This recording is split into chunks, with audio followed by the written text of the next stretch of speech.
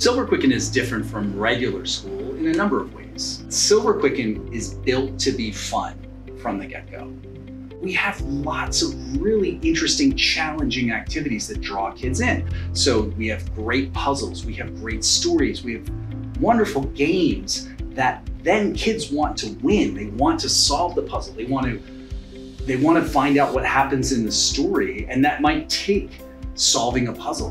In Solvers Club, um, you get to solve lots of fun problems that are like of magical things that aren't like possible. I really like the Caesarean ciphers. Yeah, tell me more. It's basically cool because you just get to like figure out and then you get to have to decode a code and see what matches up. It's fun, and if it's fun for them, it's fun for me too. And I think everybody could use a little more joy. It's super fun and it's just like one of the funnest things I did. And then once you've baked in fun, then there can be real challenge, real rigor.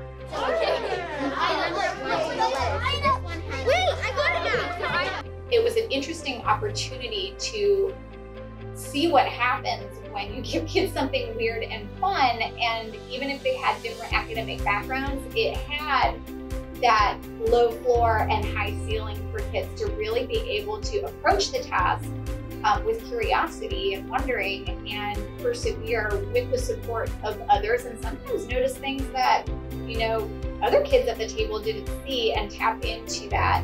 You have to stretch your brain sometimes to where you aren't comfortable. Sometimes in math, like I don't know a problem and I don't really feel comfortable doing it. But then um, from Solvers Club, I just keep doing it until I get it right.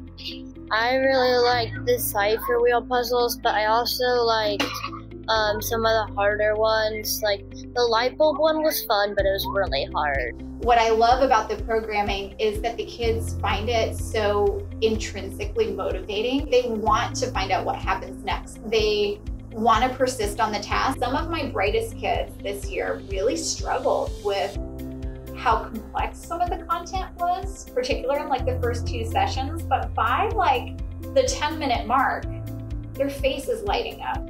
It's so important to Silverquicken that kids work together and do these hard things together. I feel like it's K. I guys, feel like guys, I found something. I found something. That collaborative aspect is baked in. In fact, the story is built around the story of 10 kids drawn from all across the United States to be a team. The quests are collective, the puzzles, even as kids work individually, they're they're designed to be a shared experience and a shared solve. With Solvers Club, it's not a competition. You like just you're all one big team trying to figure out what in the world this is. They're building each other up and we've actually got time built in to reflect on how it felt to do something really hard. Okay, now it works seven. What's D? When you solve puzzles with other people, you can like see what they're thinking and maybe change your thinking.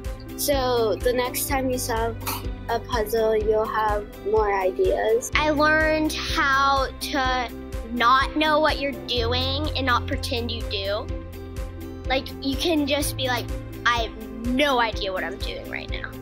And by having that joyful practice to do with other kids where it's a safe learning space to take some, some real risks um, was really powerful for them. In just a few sessions, started to see them changing the way they talked about working on a problem or changing the way they talked about um, themselves when it came to how they think. Everything really connects. Maybe like in math, you'll have like something like a puzzle that you have to solve, and it'll really help you. It takes practice for them to realize that I need to be considering those multiple perspectives. I need to look at this in a different way. You should always keep an open mind and um, piggyback on other people's ideas. I've never had anything that I really thought moved kids as people in such a short span of time.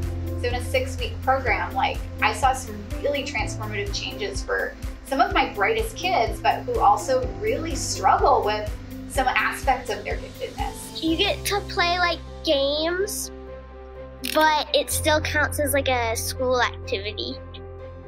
It's kind of like PE where it's recess, but it's technically school.